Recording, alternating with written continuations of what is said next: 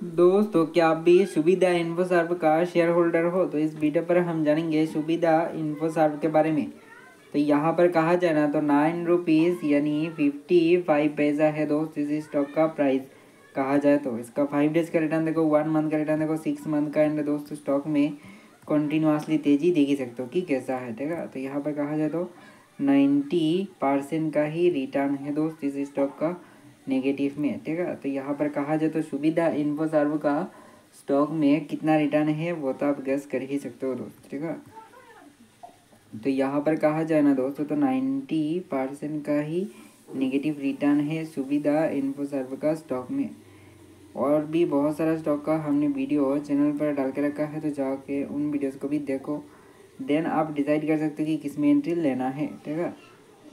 तो फ़िलहाल आज के लिए इतना ही। मिलते किसी नए वीडियो के साथ। मैं good bless you good bye